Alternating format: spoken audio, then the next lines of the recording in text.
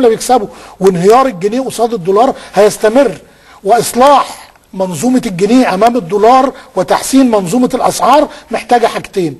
هيكل إنتاجي زراعي وصناعي حقيقي ورقابة على مستويات الأسعار وهوامش الأرباح آه، اللي بيحددها التجار. مفيش حاجة اسمها إن كل تاجر يحط هامش ربح على كيفه. بس ده مش بس ده بالشكل ده ضد سياسة الدولة. يعني سياسة الدولة إن هي سياسة السوق. ما سياسة السوق دي بقى وصلتنا لفين؟